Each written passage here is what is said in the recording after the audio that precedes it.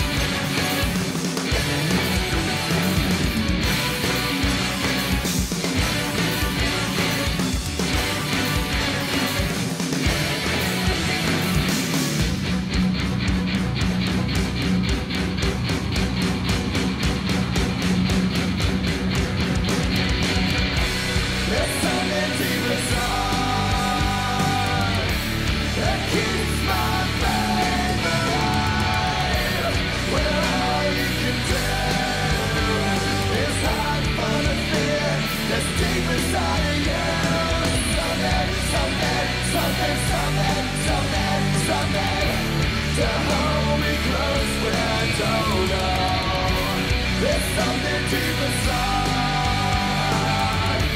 that keeps my